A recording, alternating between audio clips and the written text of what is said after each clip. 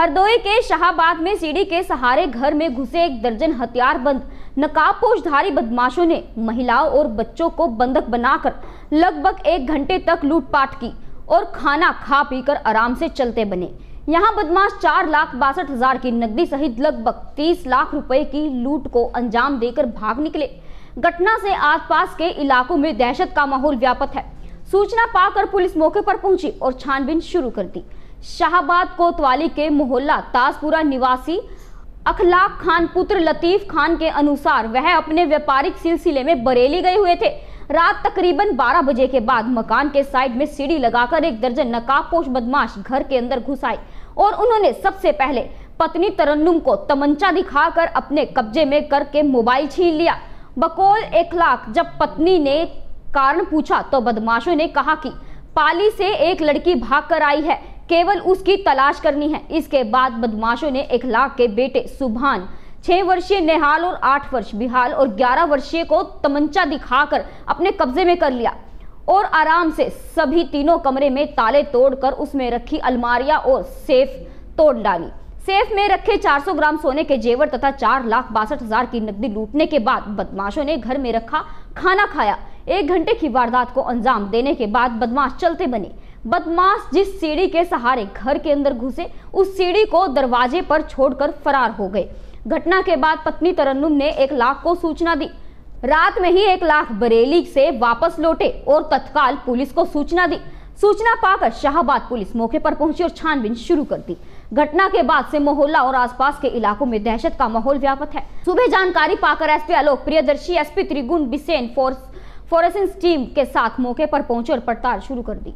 लाख हैं जो मनुष्य का व्यापार करते हैं। उनके घर में अभी बता रहे हैं, कल ये बरेली गए थे। घर में इनकी वाइफ तीन बच्चे और इनका एक भतीजा था। और जब उनकी आँख खुली तो उन्होंने अपने आसपास कुछ अज्ञात व्यक्ति को देखा और फिर उन लोगों ने इनके घर में इनको, इनके हाथ बाँध दिए और इनका कहना ये है कि घर से जेवर और कैश लेके चले गए कैश करीब चार साढ़े चार लाख रुपये बता रहे हैं जो कल ही लेके आए थे और वो एक तिजोरी में रखे गए थे, जो कंसील्ड तिजोरी थी कंसील्ड तिजोरी से निकाल के लेके चले गए और ये अभी स्पष्ट नहीं हो पा रहा है कि उस कंसील्ड तिजोरी तक वो कैसे पहुँचे चूँकि बाहर से देख करके उस तिजोरी का कुछ पता लगाना बहुत मुश्किल है, जिससे ऐसा लगता है कि किसी बहुत ही गहन जानकारी वाले व्यक्ति के द्वारा इस काम को अंजाम दिया गया हुआ घटनास्थल के निरीक्षण से और बातचीत से कुछ महत्वपूर्ण सुराग मिले हैं और घटना का नाम दिया क्या बदमाशों ने आपके हाथ बाँध दिए थे? हम्म, आप पीछे करके हाथ बाँध दिए और पीट कर दिए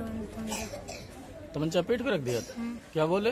हम्म, अम्मी से मेरे बोले अगर कोई किसी ने आवाज़ करी तो इसे गोली मार देंगे। कितने लोग थे? ग्यारह बारह लोग थे।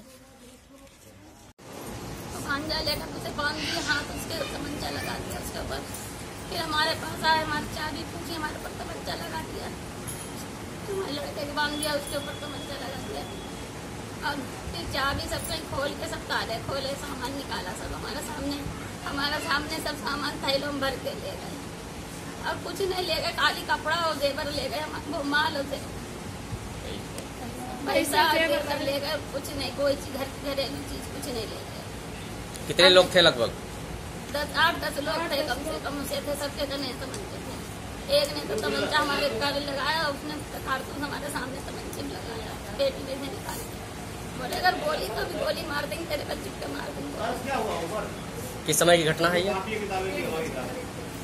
घटना किस समय की एक बजे टाइम था दो बजे निकल गए थी तो। ऐसे ही लेटेस्ट खबरें पाने के लिए सब्सक्राइब बटन पर क्लिक कर बेल आइकन को दबाएँ।